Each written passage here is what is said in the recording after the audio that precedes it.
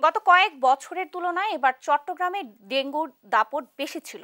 Dengue মৌসুমও ছিল আগের বছরগুলোর চেয়ে দীর্ঘ। বিস্তারিত জানাতে চট্টগ্রাম থেকে যুক্ত হচ্ছেন সহকর্মী আলমগীর সবুজ। সবুজ এবছর চট্টগ্রামে ডেঙ্গুর পরিসংখ্যান কেমন দেখছেন? আমাদের বিস্তারিত জানাবেন। চট্টগ্রামে আসলে অন্যান্য বছর যেভাবে ডেঙ্গুর প্রকোপ ছিল আসলে এই মৌসুমে সেটা অত্যন্ত প্রকট হয়েছে। আমরা বিভিন্ন সময়ে সংবাদে জানিয়েছি।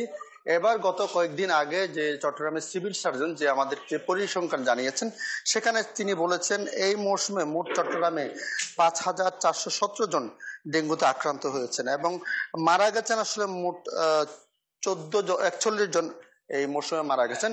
যেটা হয়েছে আসলে প্রতি বছর আসলে বর্ষা মৌসুমে সাধারণত যেটা জুন, জুলাই, আগস্ট বেশি পরিমাণে বাড়ে ডেঙ্গু।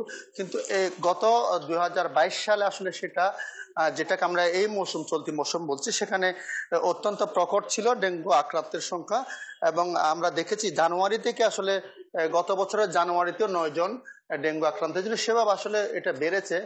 প্রতি মাসে ডেঙ্গু আক্রান্তের সংখ্যা বেড়েছে, যেটা অক্টোবর, নভেম্বরে গিয়ে সর্বোচ্চ আকার ধারণ করে এবং মোট একচল্লিশ জন মারা যায় এবং আশঙ্কার কথা ছিল চট্টগ্রামে এবার অন্যান্য বছর শিশুদের সংখ্যাটা অনেক আশঙ্কাজনক ছিল এবং চিকিৎসকরা এখনও বলছেন কয়েকটা ক্লিনিকে আমরা ঘুরে দেখেছি। এখনও এই জানুয়ারিতেও একজন, দুজন করে ডেঙ্গু আক্রান্ত রোগী এখানে ভর্তি হচ্ছেন। আমি যে ক্লিনিকে আছি এই মুহূর্তে পাইনিয়ার হসপিটাল এখানেও আমরা জেনেছি একজন ডেঙ্গু আক্রান্ত ভর্তি আছে, এটা আমরা জেনেছি এবং চিকিৎসকরা বলছেন এখন যে ডেঙ্গু আক্রান্ত যে রোগী আছে, সেটা আসলে খুব আশঙ্কাজনক না, সে ভালো আছে এবং চিকিৎসকরা আমাদের যেটা বলেছেন যে এখনও যেহেতু ডেঙ্গু মৌসুমটা আসলে কেটে গেছে, তারপরেও অনেক সময় ডেঙ্গু আক্রান্ত রোগ থেকে রোগ থেকে রোগীকে একটা মশা কামড়ালে তা এডিসে পরিণত হয়।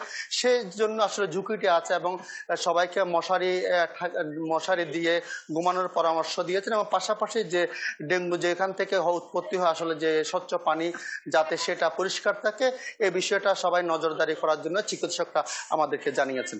নেন্সি। সবুজ, আপনাকে ধন্যবাদ। চট্টগ্রাম থেকে আমাদের সহকর্মী আলমগীর সবুজ ডেঙ্গু পরিসংখ্যান জানাচ্ছিলেন।